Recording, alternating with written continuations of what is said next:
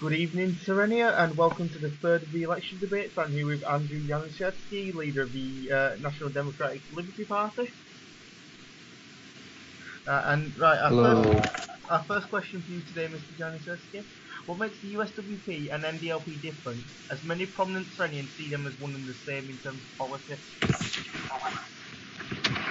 Well, I've recently admitted that there is not a whole lot of difference between the New Democratic Liberty Party and the USWP.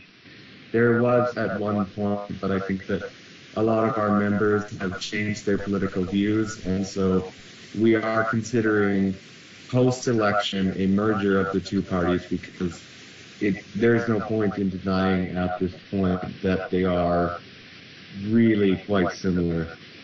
Okay. Will actually come as a shock, I'm sure, to several Sorrenians. Many believe in and in fact hoping that you wouldn't choose such a path. But on to our second question.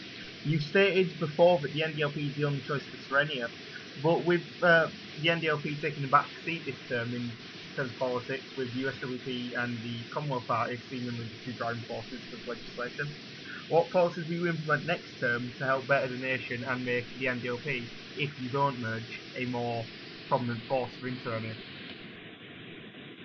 Well, the first thing that we'll have to do is to increase activity in the NDLP. Uh, again, I think that the proper course for us will be a party merger because there's just not enough interest in the NDLP anymore to keep it an independent party and keep it, you know, really on the front line. But we will attempt to, uh, you know, continue to implement mostly left-wing policy. It would be nice if at some point we could try again with hate speech policy, but obviously that is not very popular with most Sorrenians. We'll also work with the USWP to increase cultural activities. We'd be very happy to work on the Sorrenian Gaming League with them. Uh, we're always happy to work on the Celtic Cultural Committee and work with uh, ethnic minorities in Sorrenia, such as uh, the Scandinavian minorities and the Slavic minorities. So uh, a lot of it will center around uh, cultural policy for sure, and uh, not as much controversial policy other than possibly hate speech being revisited. Okay, and one final question. If you do merge with the uh, USWP, I believe that's going to be the main talking point from uh, that people take from this interview. Uh, what will uh, what would you, how will you justify this to your uh, centrist and right-leaning members, such as the one Tristan Klein, who uh, sides Republican in America? Uh, something that Uh, the members such as that won't really be on board with the merger. What I'll say is that we would never pursue a merger without having a vote. So it's not like this is my own decision. We will have a discussion within the NDLP to see that this is the decision that we want to pursue. Uh, if there are members, you know, of the NDLP who still are right wing and are still interested in the party, I'll tell them that, uh, you know, they're they're welcome to express their concerns to me. I've never heard any concerns uh, since I started making these statements.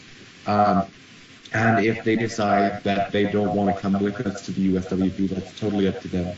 And they're welcome to bring the Free Democratic Party back because that merger did happen uh, when the CPS really sprang into power and took some of our members away.